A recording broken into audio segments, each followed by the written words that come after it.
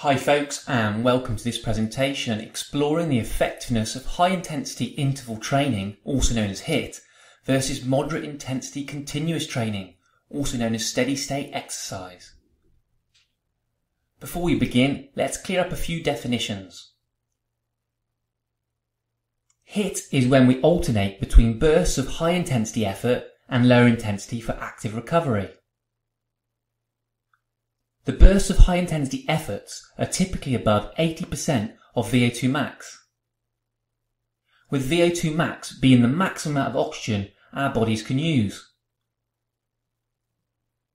For moderate intensity continuous training, this is when we begin to exercise in around 2 to 3 minutes we will reach a steady state in our oxygen consumption. And once achieved, we're able to continue to exercise at this intensity for a long period of time. This presentation, brought to you by Talking Sports Science, will be a summary of the research findings from a meta-analysis by Maturana and colleagues. A meta-analysis is the highest form of evidence-based research with the aim to systematically assess previous research studies to, to derive conclusions about the area of research. In this case, HIIT versus steady state. The meta-analysis by Maturana and colleagues was the first to comprehensively combine and analyse the effectiveness of HIIT versus steady state on seven key health markers. We are now going to take a look at those results. The first health marker is physical fitness.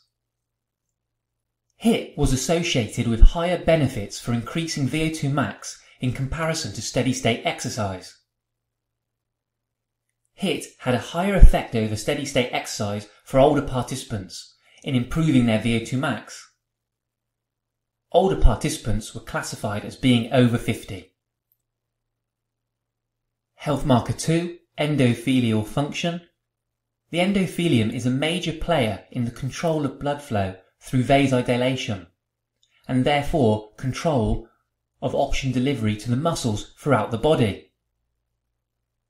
In general, higher effects of endothelium function were found with HIIT in comparison to steady state exercise.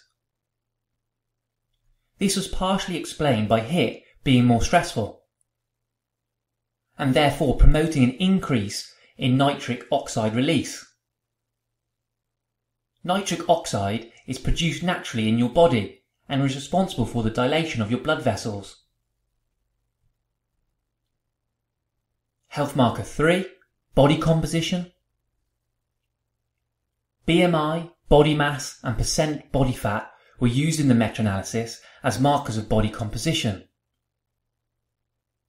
According to the meta-analysis, there were no significant differences when it came to body composition between HIIT and steady state exercise. So, for creating favourable changes in body composition, i.e. fat loss, HIIT and steady state are very similar, so you could use either, or a combination of both.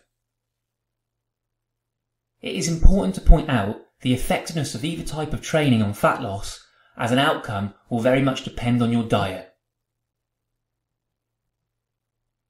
Moving on to health markers 4, blood pressure. We all know exercise is medicine, and this is highlighted within the blood pressure section of the meta-analysis. Their analysis found HIIT showed greater effect sizes in reducing diastolic blood pressure for participants between 30 and 50 years old.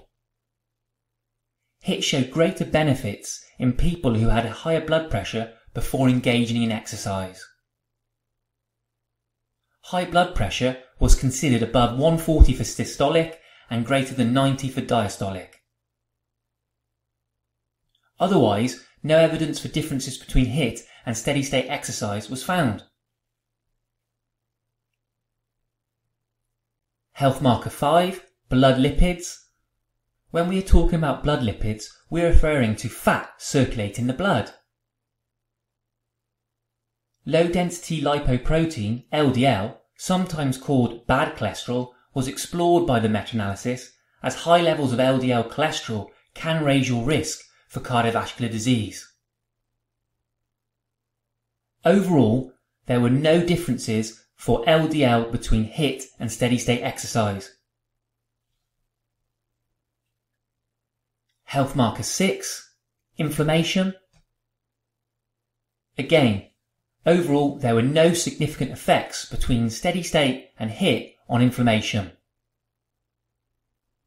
Although not significant, there were increased effect sizes reported favouring steady state exercise in healthy and young adults, as well as when sprint interval training, SIT, as opposed to HIIT, was performed.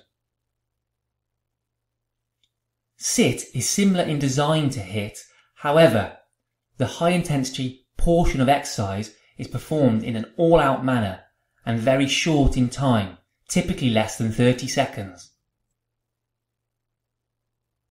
On to the last health marker, health marker 7, insulin and glucose metabolism. This refers to how well your body regulates and uses the sugars you consume. Overall, not many differences between HIIT and steady state exercise were observed in the improvements in fasting insulin and fasting glucose. However, steady state exercise showed superior improvements in long-term glycemic control, a precursor of type 2 diabetes. To summarise, we have looked at the effectiveness of HIIT versus steady state continuous exercise on physical fitness, endothelial function, body composition, blood pressure, blood lipids, inflammation, and insulin and glucose metabolism. Although HIIT seems to be a powerful form of exercise for improving cardiorespiratory fitness and cardiovascular health, steady state exercise is more efficient in improving long-term glucose metabolism. Therefore, if your goal of training is to improve your health, you can combine both HIIT and steady state exercise. This presentation was brought to you by Talking Sports Science Thanks for listening, folks. See you next time.